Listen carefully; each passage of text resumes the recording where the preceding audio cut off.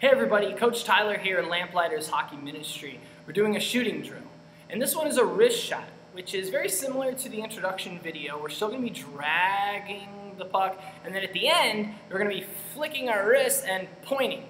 Only the goal here is to score high. So we're going to be trying to get that puck up off the ground and get it up in the air a little bit by using our wrists.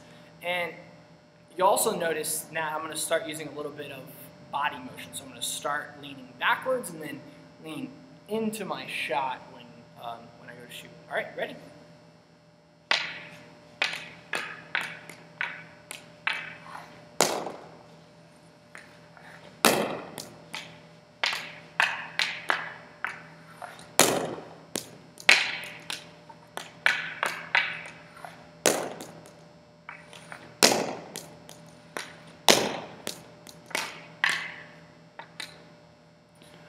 I know it all happens really fast, but if you can see, I'm flicking my hands over really fast, and that's what's getting that puck to move up in the air and also gain a lot of speed. Keep practicing.